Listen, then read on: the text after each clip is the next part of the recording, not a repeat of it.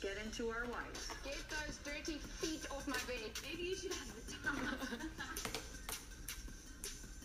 Let's smash this